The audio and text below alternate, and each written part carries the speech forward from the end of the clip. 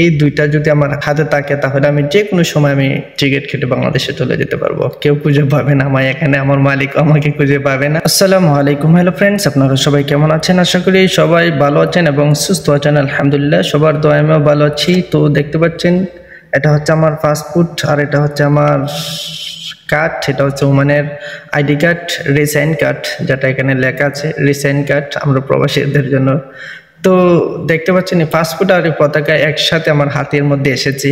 সত্যি অনেক ভালো লাগতেছে কারণ আমার এই ওমানের মধ্যে দুই বছরের মেয়েদের একটি কার্ড বানিয়েছিলাম, এটা মেয়াদ অলরেডি শেষ। তারপর এখানে আরেকটি দুই বছরের মেয়াদে আমি আরেকটি কার্ড বানিয়েছি। তো দেখতে পাচ্ছেন পাসপোর্ট আর এই পতাকা দুটোটা আমার হাতে এসেছে। সত্যি সত্যি অনেক খুশি লাগতেছে দুইটা একসাথে আমার হাতে।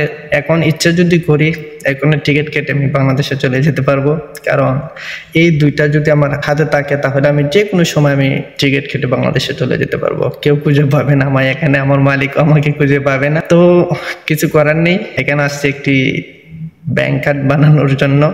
তো ব্যাংক কার্ড বানানো শেষ হয়ে গেলে আবার আরভাবে আমার কাছ থেকে এইটা নিয়ে যাবে এটা নেবে না এটা আমার হাতে থাকবে, কারণ জায়গায় জায়গায় এখানের যে রয়্যাল পুলিশ আছে, ওই পুলিশগুলো অনেক সমস্যা করে, অনেক চেকিং করে, অনেক চেক করে। তো চেক করে যদি ওইটা না পায় হাতের মধ্যে, তাহলে কিন্তু জেলের মধ্যে ঢুকিয়ে দিবে। তাই এটা হাতছাড়া করা যাবে না, এটা সবসময় মাইনি ব্যাগের মধ্যে রাখতে হবে।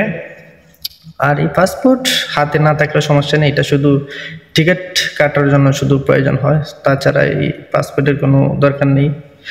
তো সবাই দোয়া করবেন, আমার জন্য, আমিও সবার জন্য দোয়া করি, সুন্দরভাবে যেন এই দূরপ্রবাসের দিনগুলো কাটিয়ে, সুন্দরভাবে যেন বাংলাদেশ সবার কাছে আবার ফিরে আসতে পারি।